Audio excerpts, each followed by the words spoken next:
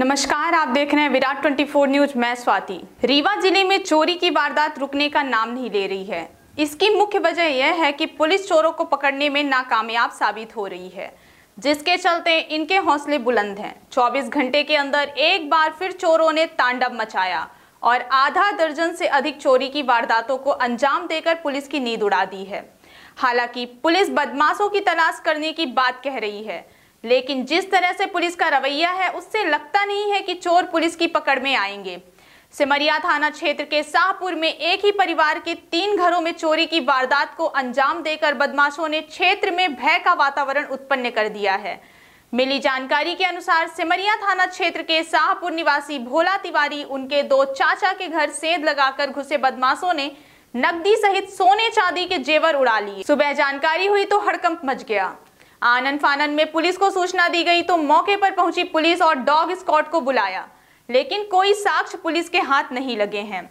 वहीं कोतवाली थाना क्षेत्र के अशोक नगर निवासी प्रभाकर साहू के घर को बदमाशों ने निशाना बनाया और सोने चांदी के जेवर सहित अन्य सामान चुरा ले गए। बदमाशों के द्वारा शहर से लेकर गाँव तक आतंक मचाया गया है। शहर के समान थाना क्षेत्र अंतर्गत श्रवण कुमारी स्कूल के पीछे राजेश कुमार शुक्ला के घर का ताला तोड़कर घुसे बदमाशों ने सोने चांदी के जेवर और नकदी चुरा ले गए पीड़ित को जानकारी हुई तो शिकायत दर्ज कराई, लेकिन अभी भी पुलिस की पकड़ से बदमाश दूर हैं। रायपुर करचुरियान थाना क्षेत्र के सिरखिनी निवासी कौशलेश गौतम के घर को भी बदमाशों ने निशाना बनाया और सोने चांदी के जेवरात सहित नकदी चुरा ले गए जिस तरह से बदमाश दिन दहाड़े और पूरी रात आतंक मचाते हैं उससे गाँव से लेकर शहर तक लोग भयपूर्ण जीवन व्यतीत कर रहे हैं।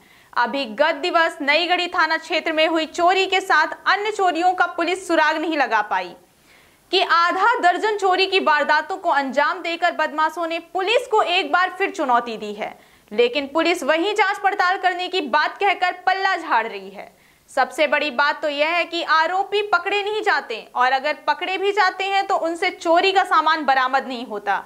जिसके चलते चोरों में पुलिस का खौफ नहीं है और लोगों की गाढ़ी कमाई पलक झपकते चुरा ले जाते हैं। इन दिनों पुलिस का हाका अभियान भी पस्त है और कंट्रोल रूम में दम तोड़ रहा है और ना ही रात्रि गश्त हो रही है जिसके चलते खुलेआम चोरी की घटनाएँ घटित हो रही हैं। पोखरी तक है नहीं आएगा रोड दोनों हैं मेन रोड से मतलब मामला है हम्म, के मेन रोड से मतलब यहाँ हुई है। हाँ। कहीं पोखरी का एक कहाँ जा सकते हैं? कहाँ वो पता है कि वो करिए कहाँ पर जा वो खुदा कुत्ता की उम्र से खुदे पता चल जाएगी। वो उसने कहीं जावे करी यह रोड है ये यार